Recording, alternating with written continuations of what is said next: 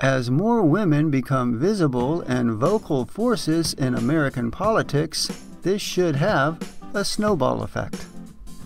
In other words, when more women become visible and vocal forces in American politics, this should lead to even more women becoming important political figures at a faster and faster rate. This describes a snowball effect. Meaning of the English idiom snowball effect. A snowball effect is when one situation causes similar events at an ever increasing rate. Something becomes ever larger or important at a continuing rate. Examples of use on YouTube, the more people who watch and like your videos, the more people who will see them.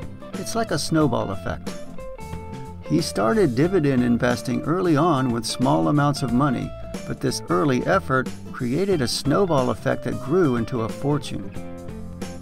Origin of idiom Used since the first half of the 1800s, this idiom alludes to how a snowball grows as it rolls through snow.